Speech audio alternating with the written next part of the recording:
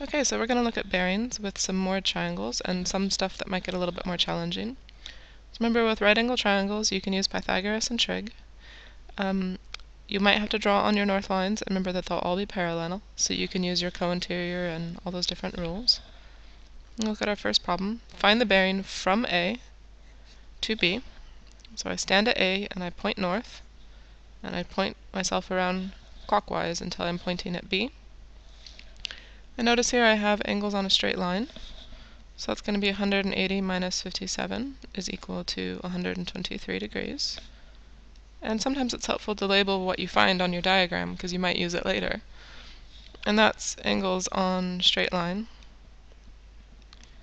equal 180 degrees. My next question, find the bearing in the other direction from B to A. So that means now I stand on B and I point myself north. And I have to figure out from there, going clockwise, how far around do I spin until I'm pointing back at A again. So, some of you might already see this, but I've got some parallel lines here. And don't be afraid, you can also continue them on if it's helpful to see that. Sometimes it's not.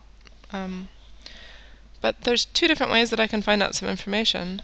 What I'm looking at here is that I notice I've, I need to find that bearing, and I've got one piece missing from a perfect 360. So I knew if this angle, if I know what this angle is, then I know it's going to be 360 minus whatever that is. So there's two ways that I can find this. One would be to use co-interior angles with a U shape. But another way to do this would be to use Z angles looking at it this way. 57 should be equal to that one because of alternate angles. So I can say that this is equal to 57. And my reason for that is just going to be alt angles equal on parallel lines. And then now I have enough information for angles at a point. So 360 minus 57 is going to be equal to 303 degree bearing, and that's from B to A. Last question here. Find the total distance around the triangle. So I need to give you a bit of information to be able to do that. I didn't actually put enough on the diagram for you. So I'm going to tell you first off that this is 10 meters. That distance between C and B is 10 meters, so you want to add that to your diagram. So now I've got enough information. Uh, this is just kind of a recap of using sine, cosine, and Pythagoras type information. If I want to know the total distance around the triangle, I've got 10 meters here. I need to figure out what that is, and I need to figure out what that one is. So I might label this one x and this one y, and I need to figure out what they are. So I'm going to look for x first. And I notice that I have the opposite angle here to that angle and the adjacent one to that.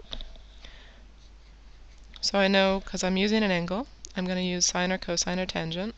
And here I've got an opposite and adjacent, so I'm going to use tangent, TOA. And I'm looking for the adjacent, so I'll cover it up.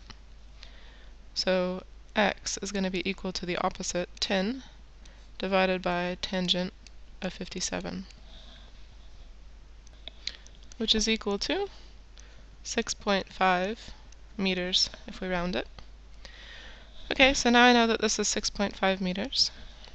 I know two sides. I could use Pythagoras to find the third one, or I can continue to use trigonometry. It doesn't really matter. So just to role model the difference, I might actually use the y, or the Pythagoras real quick. So trying to find y, I've got a side, a side, and I'm looking for one more. I'm looking for the long side there. So y is going to be equal to the square root of 10 squared plus 6.5 squared, all added up. And that's going to be equal to 11.9 meters. So again, you might have to pull in sine, cosine, or Pythagoras, but that should get you there. Um, and we've got one more example we can look at with these slightly more challenging problems. So I might put this into a second video just so this one doesn't get too long. Um, Yeah, I'll just go for it. You guys can have a long video. Saves you trying to find the other one.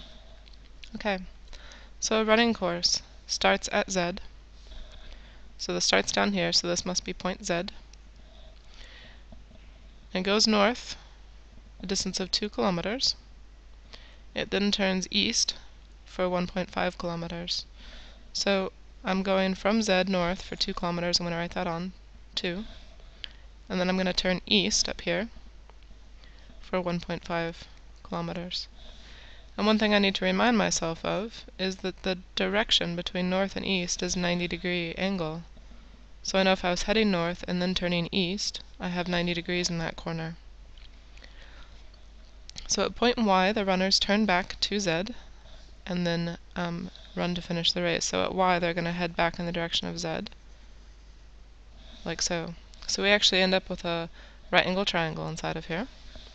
And I do know a bit of information, but not too much. And they're asking me, what is the bearing from Y to Z? So on this final turn that they make from Y to Z, how far do they run? Or how far do they turn? So to figure this out, I'm going to need to know an angle. And um, one way that I can look at solving this problem is if I break this angle up on a straight line, so I know from here to here is going to be 180 degrees on the straight line. And if I can figure out any of the information inside of here, I can try to get those missing pieces for this little bit here that's missing. So potentially if I find that angle, it can help me, because I know that this is a 90 degree corner up there as well, between north and the line that was going east. Um, and potentially I could also use uh, parallel line rules also. So I might just go in and try to find this angle here call it x.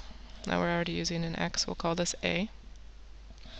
So what is the bearing from y to z? I'm going to figure out what a is first. So a, I notice that I have a opposite and an adjacent angle, I mean sorry, side, and I'm looking for the angle, so I know I need to use an inverse function here. But I have the O and the A, so I am going to use tangent. And I know I'm looking for the angle, so that's what I'm going to cover up. So it's going to be A is equal to tangent inverse of O over A, making sure you get your order right, so 2 over 1.5 into the calculator.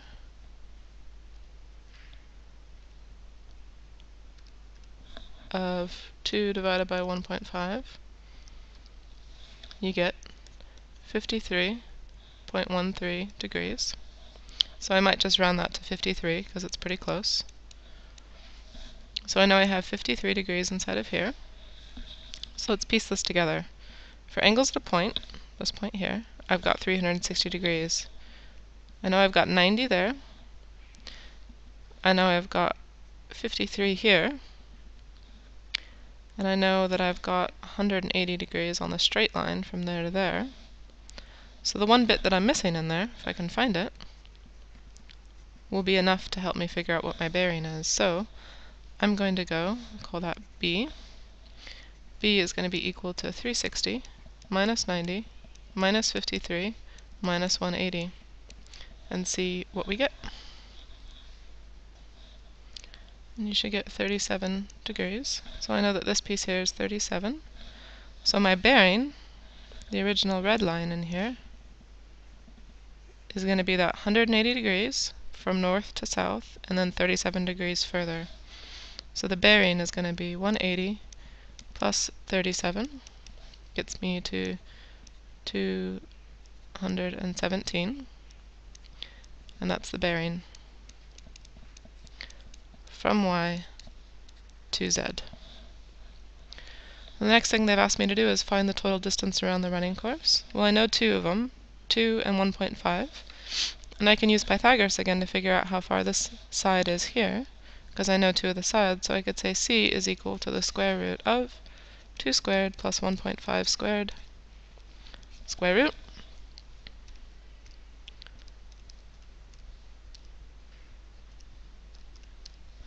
And I get 2.5 meters. But that's not the final answer. I need to know the total distance. That's 2 plus 2.5 plus 1.5. And that gets us to, to a total of 6 meters around the course. Sorry, it should be kilometers. They were talking about kilometers up here. Six kilometers, a six meter running course wouldn't be very exciting. Six kilometer running course, around course. So that's your final answer there. So again, using Pythagoras, using all that different information, and if I needed to, I could use parallel lines, but I didn't have to. I could sort out that information from there. So the problems from here get more tricky like this, lots of thinking to do, but don't be afraid to try them. And also don't be afraid to just find the little tiny bits that you can. If you can't figure out everything, look for anything that you can solve, a single angle that you can find, or a single side that you can find, and that helps get you some credit towards passing.